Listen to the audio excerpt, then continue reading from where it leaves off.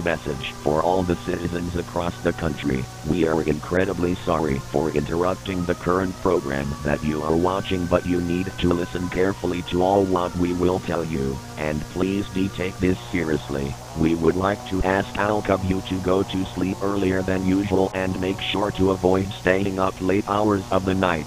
More specifically make sure to be already asleep at 3 to 4 am, and the reason why might cause some panic.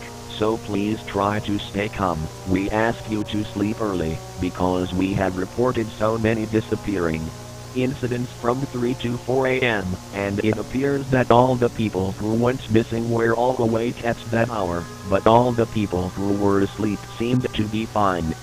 There is some other details, but we would like to keep them private for your own safety, and now we're gonna list some safety instructions to stay safe. Number 1.